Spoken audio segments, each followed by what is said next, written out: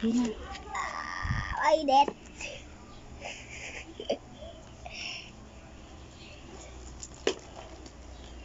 Isa pa.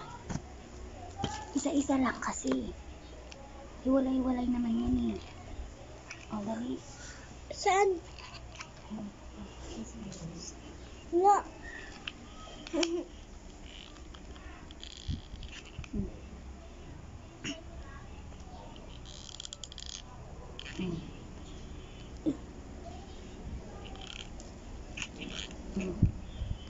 lesson nila ngayon is gumawa ng ulap gamit ang mga bulak or cotton balls. Ah! Init! Baso ako. Hindi ko naman sinabi kasing pasukin mo yung sarili mo. Ayan. Sa bulak kasi umawak. Mm. Next.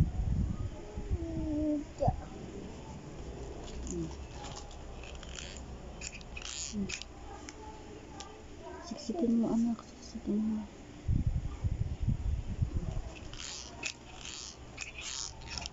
Ah, wait lang.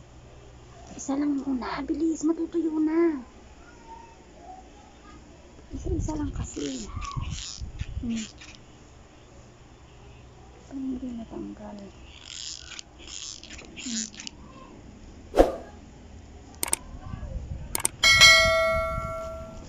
Hmm.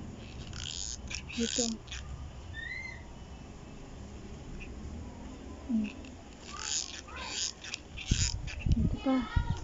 Isa-isa lang kasi mapupuno na oh. Dito. Hmm, dalawa na lang to. Dalawa na lang lagay mo. Hmm, lagay mo. Dalawa lang. Hmm. Eh. Diba? Di ba? Tapos, hindi na nalaglag. Ako, ako.